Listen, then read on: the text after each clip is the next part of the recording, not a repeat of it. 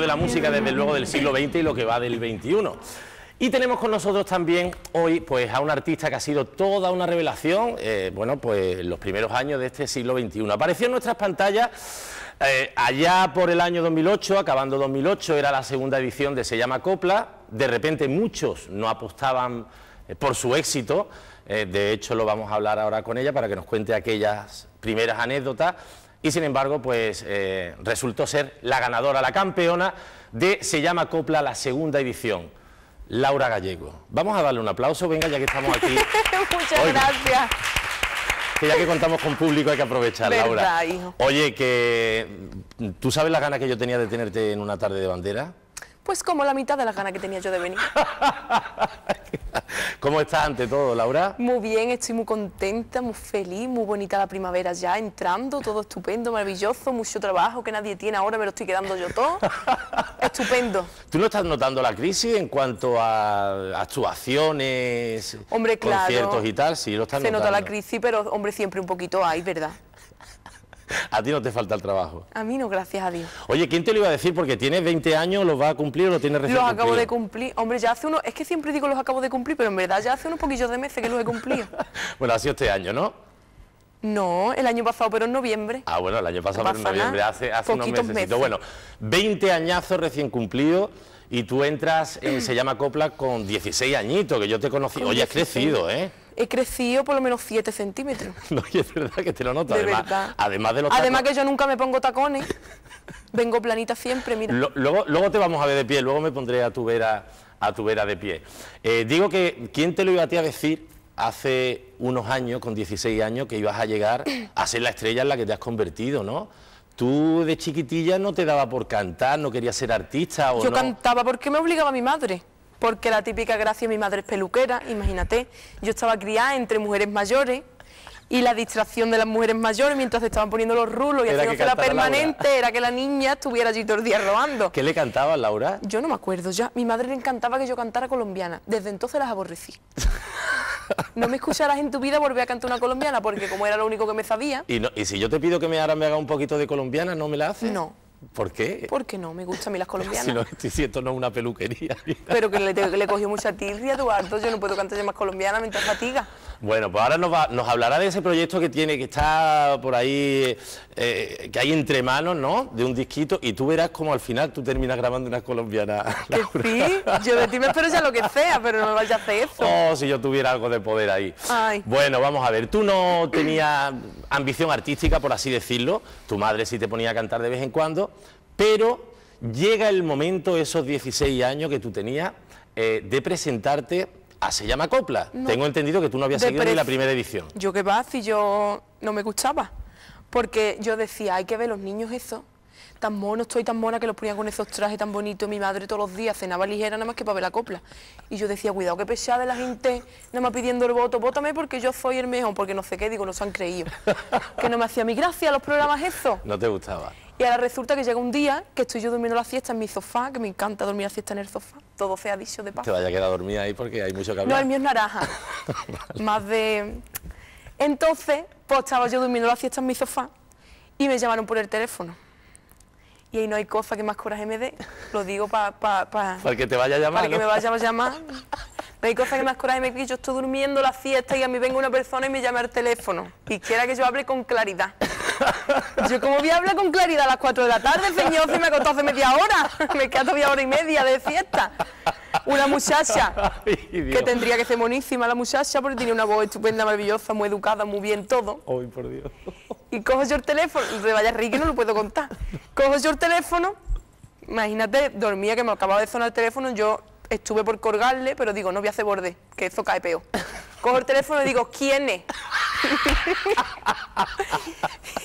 No, mira, te llamamos aquí de... Muy fina, muy educada ella, como ya te dije. ¿Qué quiere que haga? Muy mono la muchacha. Es que te llamamos, el programa se llama Copla, no sé qué, no sé cuánto. Yo cuando me habló ya con las S, digo, mira, yo no he llamado a eso. yo no he llamado a eso. Ay, por Dios. Y mi madre por detrás, sí, ahora, te lo explico, ahora no sé qué. Venga, sí, no sé qué, no sé cuánto, pum, y le colgué. Muy mal, por cierto. Ahora si me estás viendo y tú te acuerdas que me llamaste, pues me perdona. Mi madre me lo explicó que habían llamado a mis vecinas y eso, yo no sabía nada. Me llevaban tiempo diciendo, te tienes que presentar la copla, porque a mí me gustaba mucho el flamenco. Sí. Y entonces, y yo no te rías, que yo contigo no puedo contar las cosas riéndote. Y entonces, pues a mí me habían escuchado cantar y eso que me gustaba. Uf. Y resulta que me habían apuntado. Llevaban tiempo diciéndome, ah, pues te tienes que apuntar. Yo, sí, sí, yo por quitarme la pelo no harto. más, sí. Y ahora resulta que me apuntaron de verdad. Y mi madre, niña, ¿y cuando tú vayas a eso tan bonito, que está ayer pibe, que no sé qué, no sé cuánto? Digo, mira, pues vamos. La pobre mujer se le quita las pinitas, porque mi madre es artista frustrada de esa que no cantan nada, pero como dice ella, para los perros, pero mal la pobre, Angelito. No tiene culpa, pero canta muy mal. ¡Ay, por Dios! la- Y entonces, no te estoy dejando ni hablar, no pasa nada. No, no, no, no, aquí la entrevistada eres tú y eres quien tiene Bueno. que hablar. Entonces, entonces- resulta que llaman las vecinas por ti y tú vas y te presentas por dejar me tranquila a tu madre y a me- tu Digo, vecina. como, como yo todavía no sé cantar, Sí. pues yo voy, canto malamente, me echa, mi madre se queda tranquila, que conoce al pibe y nos venimos para nuestras casas, y ella tan contenta y yo también. Sí. Bueno, pues yo llegué al casting y claro, vinieron, vino de sorpresa La primera allí a darle sorpresa a la gente y no entraba nadie. Yo tengo una prima, buenísima, estupenda y maravillosa, que venía conmigo también y con mi madre. Fíjate en Cádiz, que yo tenía que ir a Cádiz, pues mi madre, como está acostumbrada que es un pueblo así, Ya ves, todavía no estamos contando ni su entrada al programa. Esto la- Exactamente. esto Bueno, es voy a- venga, voy a abreviar ya. No, no, no, no, tú, tú a tu Sí, bola, porque es que si no me harto yo de escucharme. Y entonces, pues venía mi prima. No, eso, ahí no entra nadie, eso está, eso está bañado. eso- Total, que entré. Entré y en el siguiente casting. Oh. Venga, pregúntame, ¿no? Entraste y ¿qué pasa? Entras a hacer la prueba. ¿Quién había en la prueba? Entro a hacer la prueba y estaba el, Oye, Ángel, qué el, el Ángel, que es el director del programa. Sí. Monísimo, morenito, así monísimo. Después estaba el pibe Ajá. y después estaba mm, Sandra de la Rosa, ¿era? Sandra, Sandra de la Rosa, la profesora de, Sí. ¿no? de, de los, no sé si de los era Sa- concursantes. sí, era Sandra. Total, que yo canté muy mal. Se me olvidó hasta la letra, porque yo como no sabía ninguna copla me había aprendido un cachito de Limosna de Amores Ya ves. para yo cantarla. Y no me la sabía nada más que el estribillo, me equivoqué y todo de los nervios. Pues yo quiero, va, venga, y ahora entre tanto, limosna de amores. ¿Por qué no me haces un poquito de limosna de amores? Dame limosna de amores, dolores, dame la porcaria. Ole. Pon en mi cruz unas flores, dolores, que Dios te lo No me niegue mi serrana, el agüita para beber. Ole. Ten piedad samaritana de lo amargo de mi ser. Y no te da pena que llore dolores. Ole. No te da pena de mí.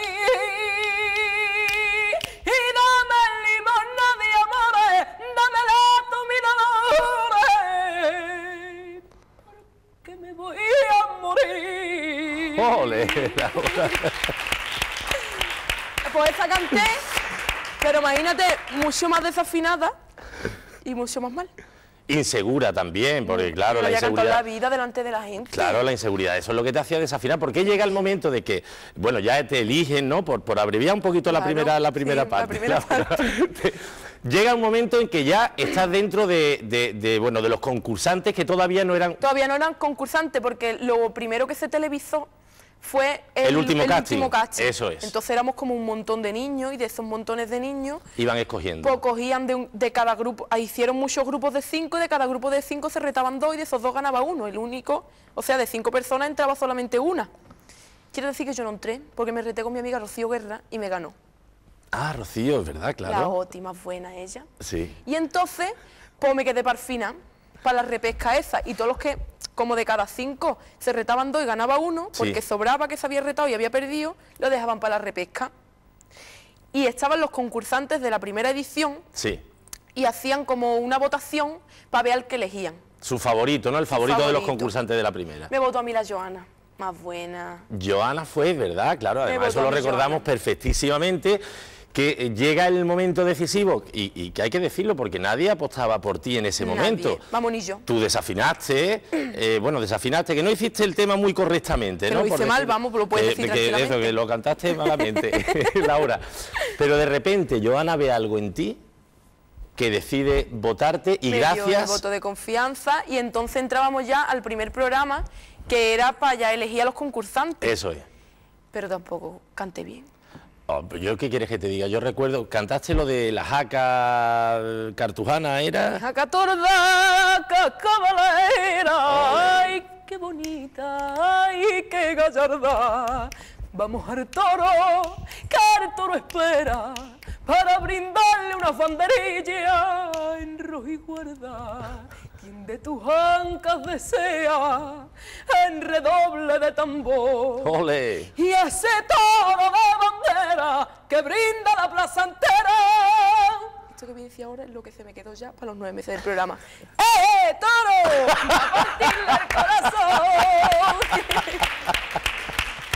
Nueve meses, Eduardo, escuchando toda la semana el vídeo del eje toro. Toda la semana salía yo diciendo eje toro. Bueno, yo recuerdo que alguna de las cosas que te dijeron con ese tema fue como que la, que, que la jaca se había desbocado, Sí, de todo. que tal, pero eh, tú ahí ya habías pisado el escenario y tú ya tenías más seguridad. Tú ya dijiste aquí, ya que estoy dentro, Pero tengo porque- que ir a por todas. Pero porque yo era inconsciente de todo y yo no sabía y a mí me daba igual. Yo digo, bueno, pues si canto mal, pues me tienen que escuchar de todas formas. Si el ratito es el que me toca a mí, ¿no? Pues yo estaba nerviosa, pero como yo no sabía, pues no me daba cuenta. Claro, tú eras una novata en todo, en televisión, en escenario, en, Todo- cantar. y ya me entró el gusanillo y digo, ay, ojalá me quedara. Ya te gustó. Y ya todas las semanas queriéndome quedar, queriéndome quedar y poquito a poco iba superando. poquito. Además, tú eras, Laura, yo recuerdo que tú eras de las concursantes que mm, por parte de tus compañeros no recibía demasiado apoyo porque cada vez que... Que no recibía había- ninguno, ni demasiado, ni nada. Cada vez que había exactamente una especie, bueno, el confesionario, ¿no? Lo que sea, el confesionario de ese coplero, todo se le escuchaba decir, pues yo creo que la que se tiene que ir es Laura, ¿no? Claro, porque yo todas las semanas, con toda mi ilusión, me preparaba los temas igual de mal que el primer día. Y entonces, en Igual de aquella mal edición... igual de mal con el primer día. Daba el ratito de clase que me daba la Sandra de la Roza, pues lo intentaba aprovechar, pero como no me enteraba de las cosas, pues ya seguía igual de mal. Entonces, pues, Laura, por- todos Sí. los días había programas diarios, en todos los días de los programas diarios, que era la hora de la cena, estaba yo comiendo y teniéndome que comer a todos los compañeros diciendo que la que se tenía que ir a la calle era yo. Y a ti eso que te entraba por el cuerpo. Pues me entraba muchísima pena porque luego yo llegaba y me decía, ay no, tú no te preocupes si te va, porque yo todo el mundo todo el tiempo decía, claro es que me voy ahí porque todos me queréis a la calle, porque llegará un Pero sin embargo, tú, tú eras una de las concursantes que mejor se llevaba. Con cuidado, nadie se pegaba a Oh, aguantar no con nadie. No tiene nada que ver porque yo me llevaba estupendamente con todo el mundo. Sí, pero a la hora de lo artístico, como que nadie confiaba en ti. era un concurso Sí. y después ya me querían porque me tenían que querer igual que yo los quería a ellos. pero, pero al principio no me querían. No me querían. Vamos, y tú- entonces eh, me decían la excusa de, tú como eres de un pueblo pequeñito, mi pueblo tiene mil y pocos habitantes, que es así, es como una torrija de Semana Santa, de chico. Pues me decía todo el mundo, tú no te preocupes porque como Algar es tan chico, pues no te pueden votar la gente, no te puedes comparar con los demás que venían de Sevilla, que venían de Granada, que venían de Córdoba, que eran sitios más grandes que podían tener más apoyo. Cuando a mí me votaron la gente y me Yo salvaron de todo el mundo y entré ya en el programa y me dijo la Eva eso, ¿Y tú qué dijiste? Pues me levanté y digo, toma, toma, toma, así a todos, así. Me pasé así y digo, toma, toma, ¡viva Algar! es verdad que me acuerdo yo de aquello. Claro, qué pena. Y aquello también te lo recriminaron bastante. Hombre, porque yo había decía dicho- que tú te estabas riendo de los concursantes que no habían pasado. y Estaba tal. riendo, mira, yo no me reí, pero me tenía que haber reído. Porque con todo el por saco que me habían dado todo el tiempo, vamos, bastante mal lo pasé yo, que todo el tiempo me decían que a la calle, a la calle, que de mi pueblo era músico, que tendrá que ver si me votaba la gente de todos lados. Pues nada, grande. aquí estamos. Bueno, Laura, eh, eh, llega, empieza tu trayectoria dentro del concurso. Eh, ¿Con qué miembro del jurado te llevabas tú peor? ¿O quién veías que te apretaba más las tuercas a la hora de, de juzgarte? ¿Quién te lo puso más difícil, por así decirlo? Pues pibe. Porque hoy en día pues, nos queremos mucho, pero en aquel entonces yo no lo podía ni ver. Porque me decía todo el tiempo que muy mal y que no era mi hora y que yo no sabía todavía cantar y que yo me tenía que ir. Nada más que quería echarme. Luego estaba Silvia Pantoja, te puedes reír tranquilamente, vamos. ya, ya, ya. no pasa nada. Luego estaba Silvia Pantoja, que le, que le gustaba yo, pero tampoco estaba convencida, vamos, no estaba convencida, ni yo como voy a convencer a la pobre chiquilla, pues tampoco. Y después, pues estaba el Hilario, que ese sí me quería un poquito más. Sí. Pero tampoco te vayas tú a creer que ya después sí me fue, tampoco daba la vida por mí, pero ya después sí. Y luego los artistas invitados, que por entonces era frecuente, que siempre iban. Pero los artistas invitados